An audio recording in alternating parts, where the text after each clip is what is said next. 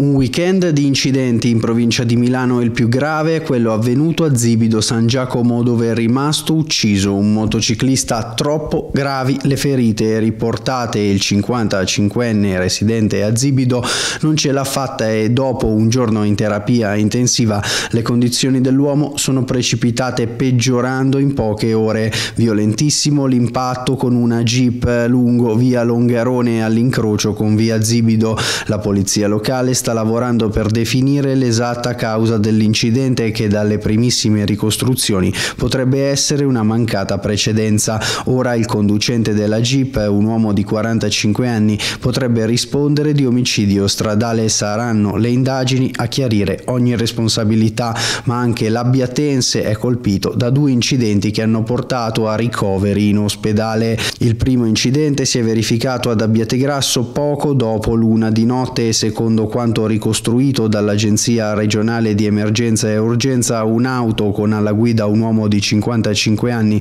è uscita di strada mentre percorreva l'alzaia del Naviglio Grande. L'allarme è scattato con il codice rosso e sul posto sono arrivate un'ambulanza e un'automedica oltre ai carabinieri di Abbiategrasso e i vigili del fuoco di Milano.